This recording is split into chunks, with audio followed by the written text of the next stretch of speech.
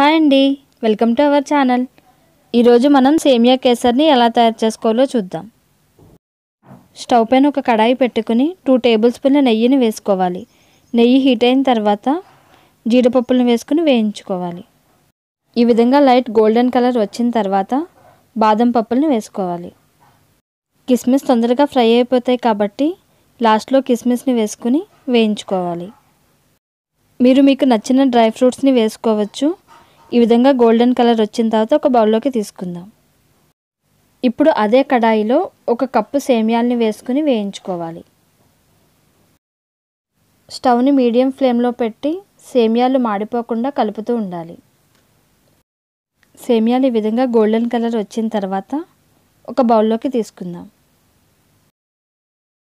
ఇప్పుడు అదే కడాయిలో మనం తీసుకున్న ఒక కప్పు సేమియాకి రెండు కప్పుల వాటర్ని వేసుకుని మరిగించుకోవాలి.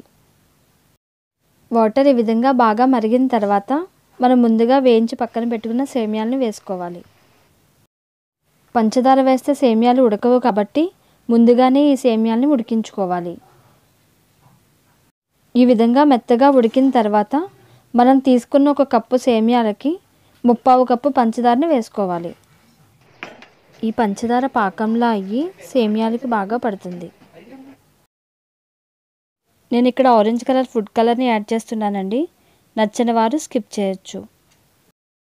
సేమియాలు చల్లారిపోతే దగ్గరగా అయిపోతుంది కాబట్టి ఈ విధంగా ఉన్నప్పుడే మనం ముందుగా వేయించి పెట్టుకున్న డ్రై ఫ్రూట్స్ రెండు యాలకులను వేసుకొని స్టవ్ ఆఫ్ చేసుకోవాలి. అంతే అండి చూసాం కదా సేమియా కేసర్ని ఎలా తయారు చేసుకోవాలో. ఈ వీడియో కనుక మీకు నచ్చినట్లయితే లైక్ చేయండి షేర్ చేయండి సబ్స్క్రైబ్ చేయండి. Thank you for watching